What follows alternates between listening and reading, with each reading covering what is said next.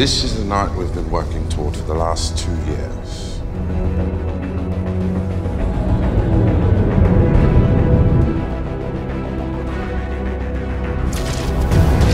We're sending you one hour forward.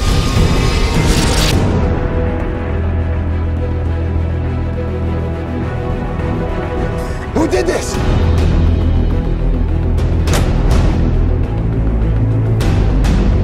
Whoever the killer is, it has to be one of us.